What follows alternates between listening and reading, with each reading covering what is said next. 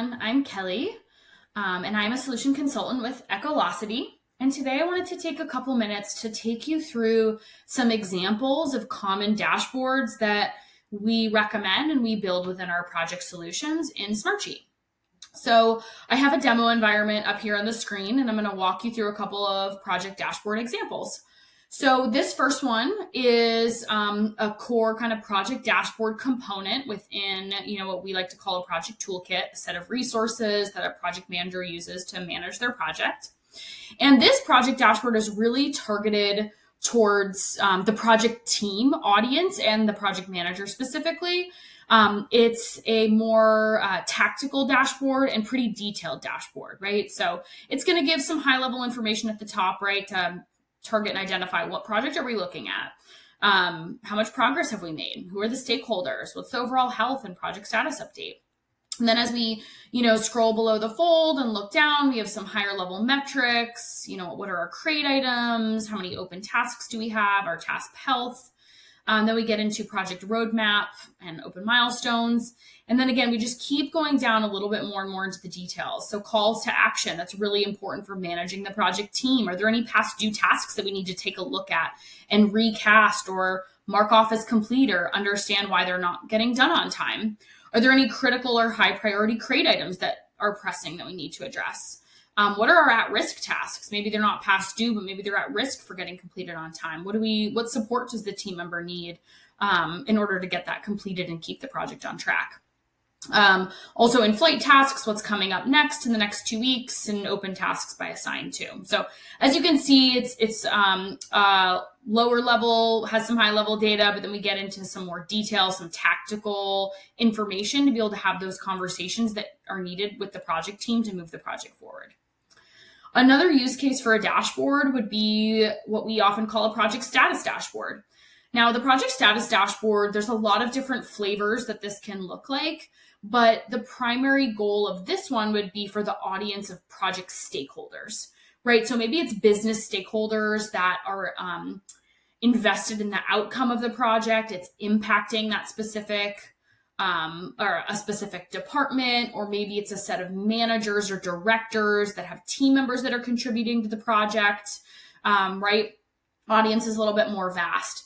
Now, this audience, they might not need to get into the tactical details. They don't necessarily need to know every single task that's due in the next two weeks or, um, you know, just open tasks by assigned to.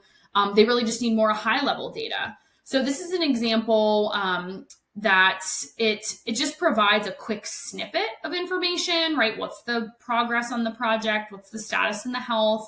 What's the current high level schedule?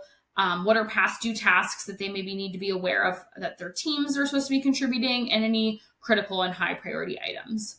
Now, again, this is just one example. It's essentially a pared down version of the project dashboard. It has some of the same information, but doesn't go as into detail.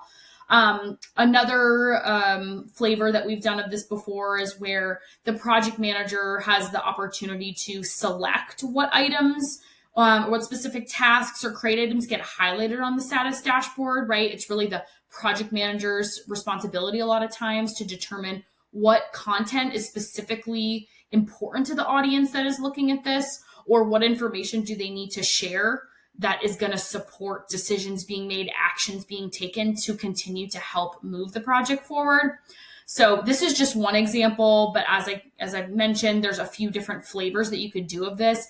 But again, the really the main message here is that we're modifying the information for the specific audience and making sure that the information is relevant for them and it's going to drive the action that you need them to take um, to support the project. The next dashboard example I wanted to show is um, what you could call a My Work dashboard, or sometimes we call it a, a task stat, a My Task dashboard, or a current user dashboard.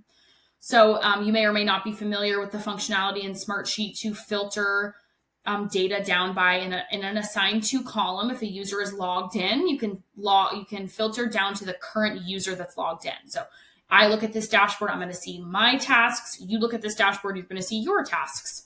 So this would be a place for, um, you know, a team member within an organization who's maybe working on multiple projects to be able to see all their tasks across all the projects that they're assigned to, right? They can see any past due tasks across multiple. You can see Project Alpha and Project Beta are on this list. Um, you can see high and critical crate items. You can see due soon, right? So this is something that I might go to as my, you know, one-stop shop um, for all the things that I have on my plate that I need to accomplish. And the last one that I want to share with you is similar to the last one, but this is a project manager dashboard. Now, really with a project manager, you're going to be looking at really all these dashboards, right? You're going to be managing the project dashboard for your tactical conversations. You're going to be managing the project status dashboard for your stakeholder conversations. But then for you too, as a project manager, you may want a place where you can just see all your projects in one place. You know, what are all the projects I have assigned to me and what status are they? What is the health that I have? Then I can click into the report and easily update the health for each of my projects. Um, maybe I want to see past due tasks across all of my projects so I don't have to go into each individual project dashboard to see that, as well as in progress tasks, right? So this one is a little bit more tactical in nature as well, except rather than again needing to go into each individual project dashboard, I can go to one dashboard and see everything I need in one view. So rounding this out, a really important message here is that it's critical to consider what audiences need to see data in different ways when you're building a project solution within Smartsheet. These are four dashboard examples that we like to use with our clients and use often, um, but we'll customize to their specific needs. Um, in addition to any roll up portfolio, dashboard, and program reporting that might be needed. I hope you found this helpful. Thank you so much for watching. Please don't hesitate to go um, subscribe to our channel on YouTube, follow us on LinkedIn so you can stay up to date on more tips and tricks that we share. Thanks again.